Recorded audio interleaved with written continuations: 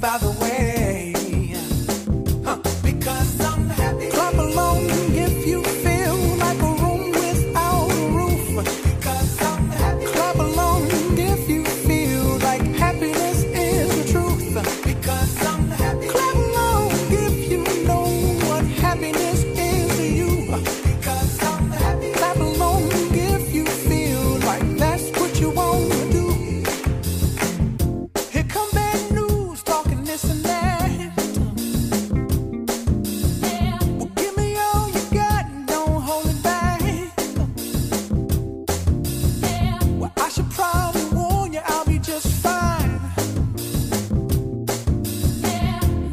happens to you, don't waste your time.